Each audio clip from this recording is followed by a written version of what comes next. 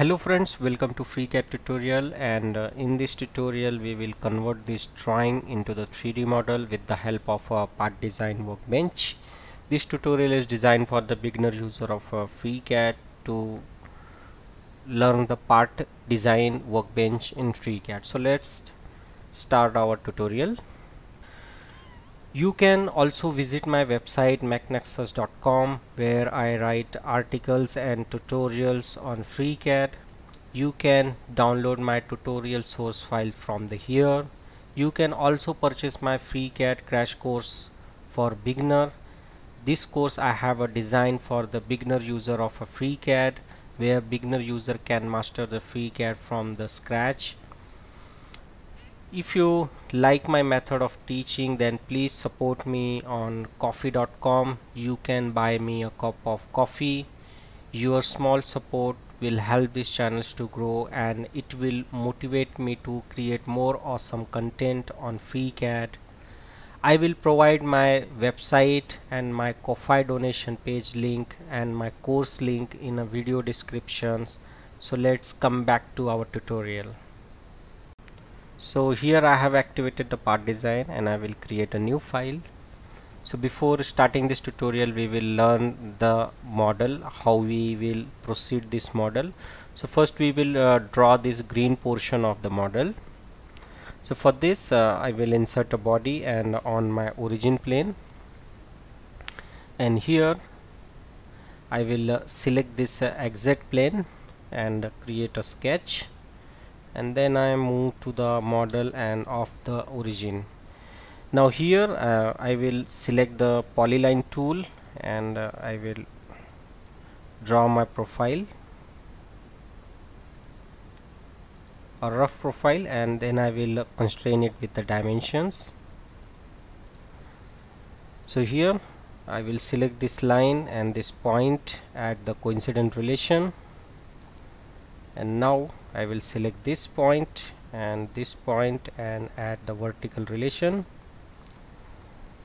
And here its dimension is a 76 and uh, before giving the dimension we will make it symmetric. So I will select this point this point and this uh, axis so that uh, it it would be symmetric. Now we can see that it is a symmetric now I will select this line and give the vertical dimension of uh, 76 which is given here. And now I move it. And from the center it is given here 38 and this one is a uh, 43 from the edge to the whole center. And this radius is 15 so this would be 43 plus, uh, 15 and now we will uh, find out the thickness. So thickness here uh, is not given if we zoom the model. So thickness is uh, we will take approximately. So I will select this line and add the vertical dimension and add the thickness of uh, let's say 10 mm and I will make this and this equal. And from here to here I will give the 10 mm so this is the our uh, base sketch. Now I will come out of it. And total extrusion uh, length is a uh, 74 which we can see here. So I will select the sketch click on the extrude tool and give the 74 but here we will keep it symmetric to the plane and say ok now we will uh, remove the material. So for this I will select this top face and create a sketch. I will uh, switch to the right orientation. And now I will uh, project these two edges and this edge as well. Now I will select the line tool and join two lines here. And this point and this point will have the vertical relation. And now I will select these two points and give the this dimension 10 mm 10 mm and uh, now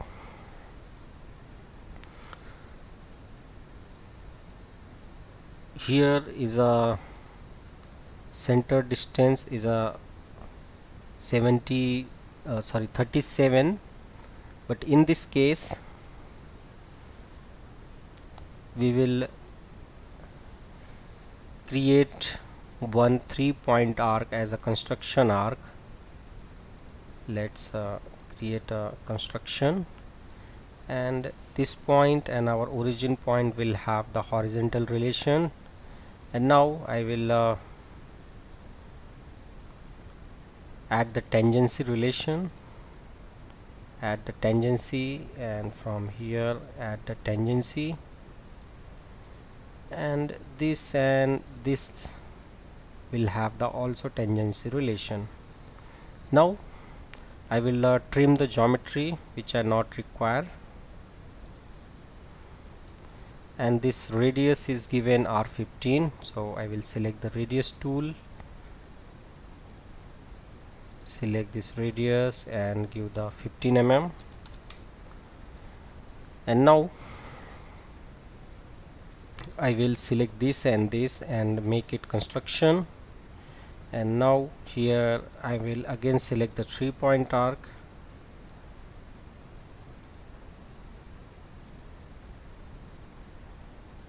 And let's see why it is unconstrained.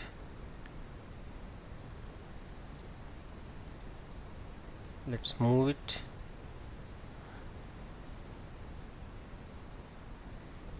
Okay so now I will select this point and this point and add the horizontal relation. Now I will uh, close this profile remove the material and then I will mirror it on the other side. So I will select the line and join this and join this. So here you can see that uh, redundant constraint click on refresh select it and press the delete button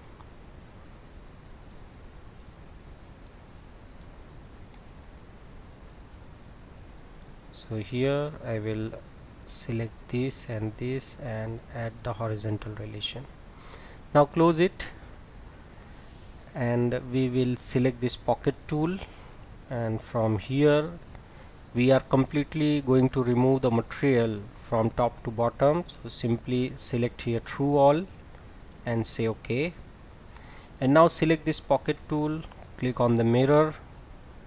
And from here select reference options and select your mid plane and say ok now we will make this hole for this I will select this top face create a sketch project this uh, edge so that we get a point.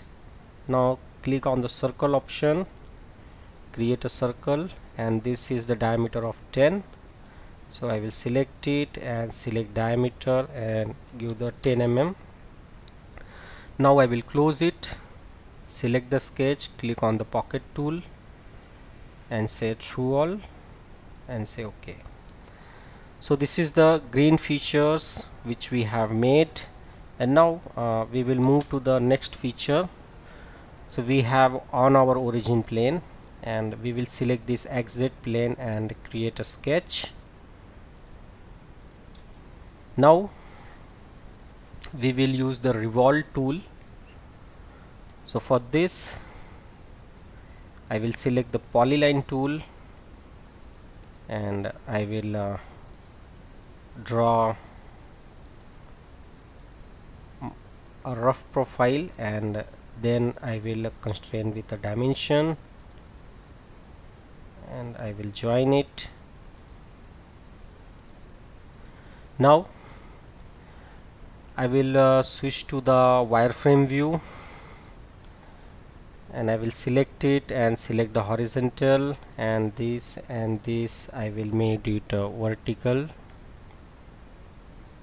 And I will uh,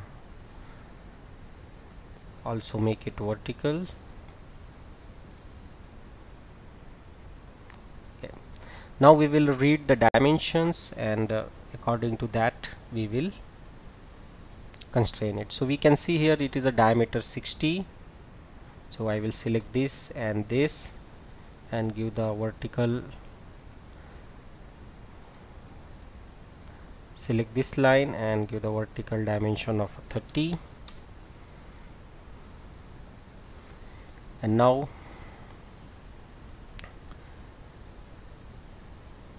this diameter is a 42 so I will select this point and uh, this point and give the vertical dimension of uh, 21 I move my dimension.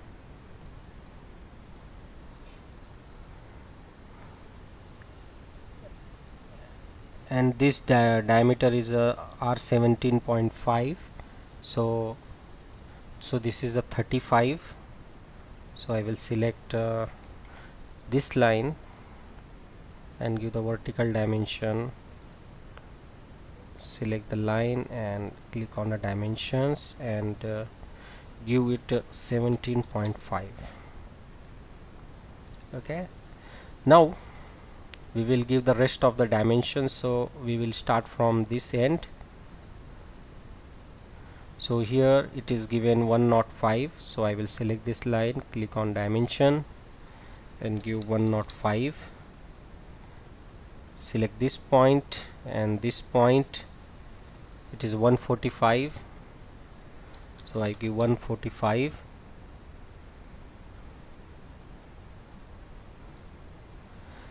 now let's see what is the unconstrained so this total length.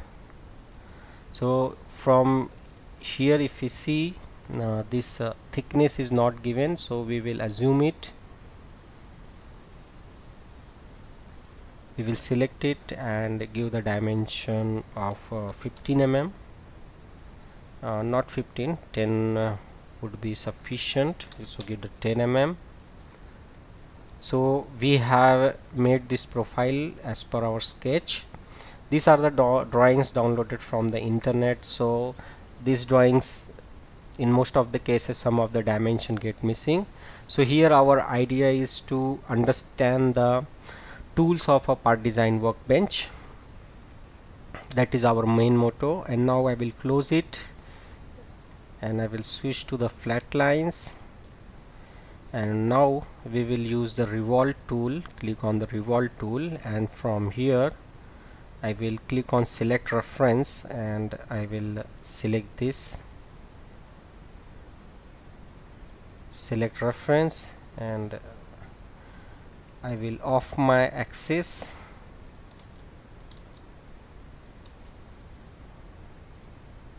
And I will select reference and select this line.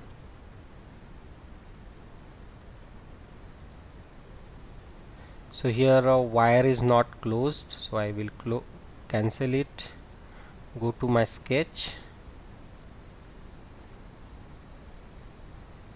uh, it is a fully constrained.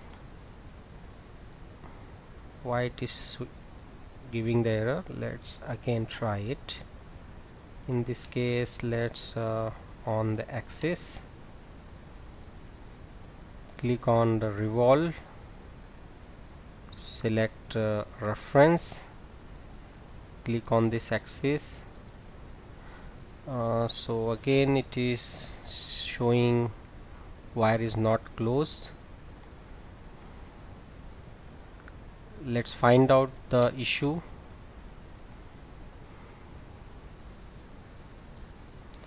So here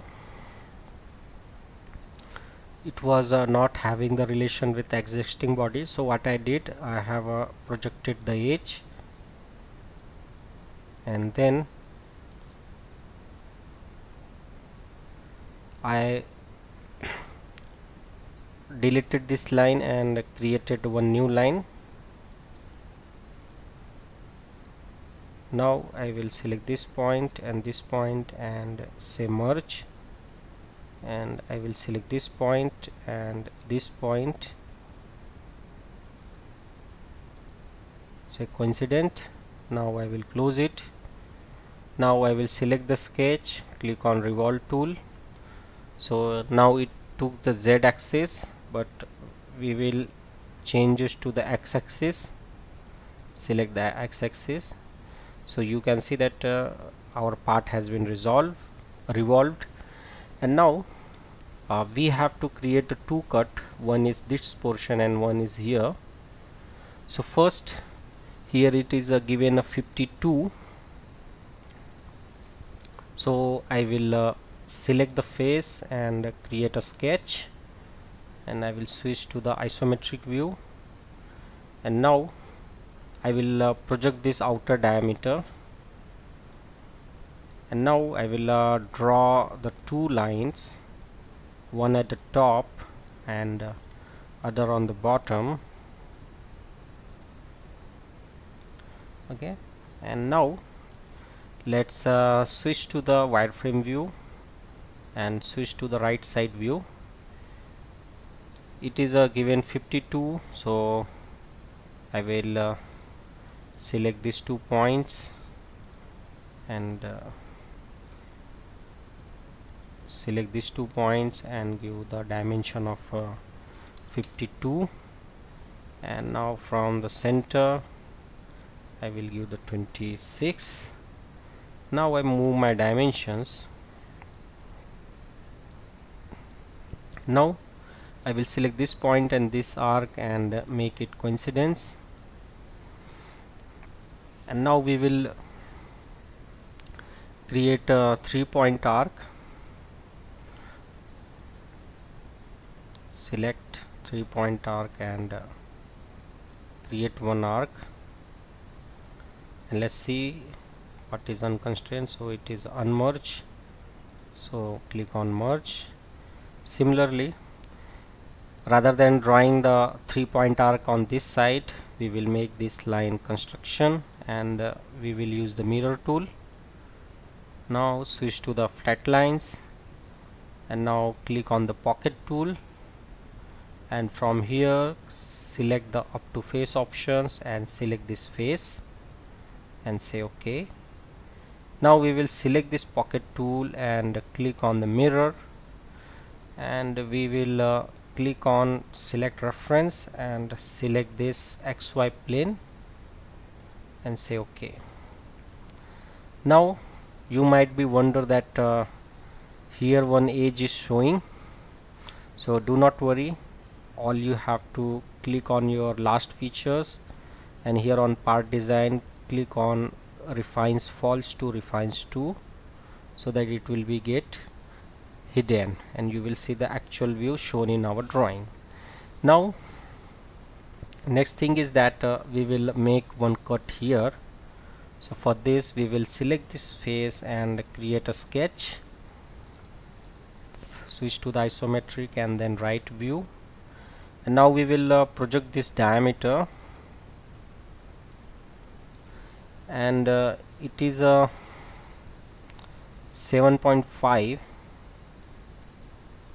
so I will uh, select the line tool and uh, create one line. And from the center I will give 7.5 7.5 and now I will uh, select a three point arc.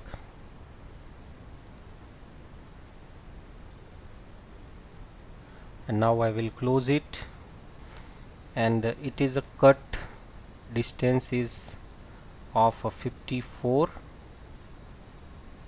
this drawing quality is very poor but I am guessing it is a 54 so click on the sketch click on the pocket tool and give the distance 54 say ok and now switch to the isometric.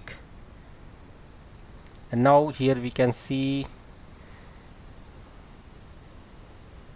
here is uh, some uh, radius or chamfer is given. So we will give the chamfer. So select this edge and click on the chamfer. We will give some approximate value of the chamfer let's say 2 mm and say ok so you can see that uh, we have successfully converted this uh, isometric drawing into the 3d model I hope you have enjoyed this tutorial and uh, this tutorial is very helpful for the beginner user to understand the part design workbench in FreeCAD. So this is all about this tutorial. If you like this tutorial then please like subscribe and share my channel. And uh, also support me on ko-fi.com your small support will help these channels to grow.